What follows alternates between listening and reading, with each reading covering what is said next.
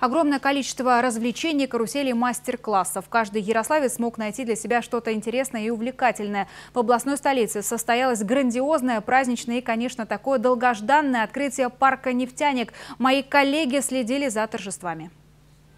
Малыши участвовали в конкурсах, знакомились со зверушками, познавали новое через мастер-классы, а еще играли в новом городке. Дети постарше опробовали тренажерный комплекс и футбольное поле. Родители смогли насладиться живой музыкой, в пляс пошли даже дедушки и бабушки. Праздник был по-настоящему масштабным. Закончены работы по реконструкции парка «Нефтяник».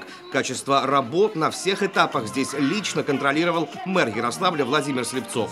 Было сделано благоустройство центральной аллеи, значит, центральной площади, асфальтировано, дорожки, благоустройство также выполнено э, э, детского городка установлена новая спортивная площадка. На праздновании было более тысячи ярославцев со всех районов города. Уже при входе в парк гостей встречали ростовые куклы, симфонический оркестр. Вся аллея разделилась на множество различных зон. Контактный зоопарк, аквагрим, большие мыльные пузыри. Конечно, праздничный концерт от коллективов Красноперекопского и Фрунзенского районов. Как признаются жители, парк стал эксклюзивным. Подобных аттракционов и игровых площадок в Ярославле нет. Также основным акцентом стала зона для маломобильных групп, специализированные качели и песочницы для детей-колясочников. Начало обновлению парка было положено в прошлом году, когда по инициативе активных жителей нефтестроя руководство нефтеперерабатывающего завода выделило значительную сумму на установку освещения и обустройство дорожки вокруг пруда. Мы видим, что он востребованный.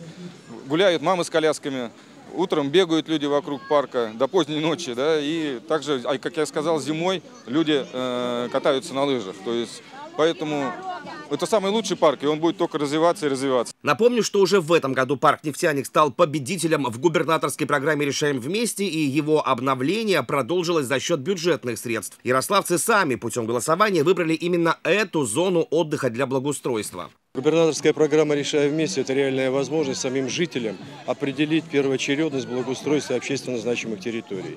В марте 160 тысяч человек приняло участие в голосовании. А парк «Нефтяник» набрал 57 тысяч голосов.